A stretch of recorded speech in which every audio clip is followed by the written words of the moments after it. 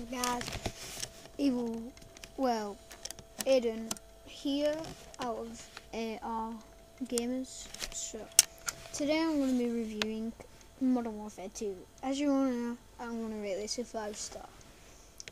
Because um, it's a really good game, good graphics, um, and I'll start with some good things. There's quick scoping in this, which is also good because people, when they didn't know, because some people think quick scoping is boring now, but I still think it's good because if you run around with machine guns, it's boring because that is actually boring. So running around with a sniper, it's harder, more challenging, and it's better because um, people run around with machine guns. If I get annoyed, I run around with machine guns too.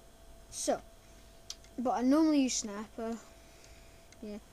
So, um, I rate this five star.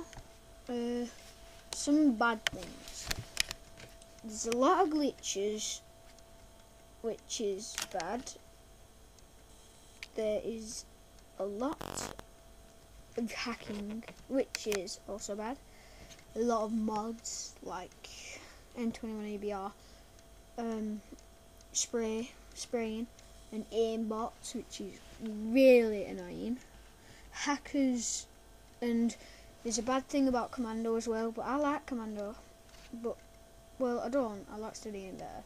But Commando when you try and knife someone, you run like 10 meters before you actually stab them with a knife. So that's also a bad thing, but it's also um, funny to do that.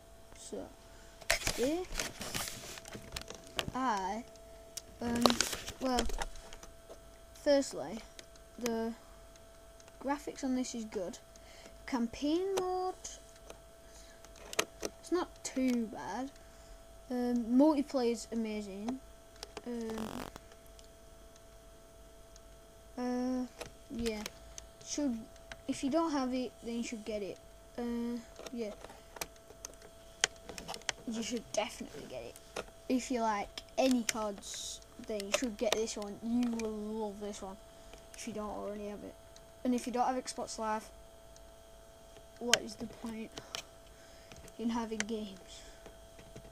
Well, I'm sure there's point in games, but why it's better with actual Xbox Live because there's more to it really. So, uh,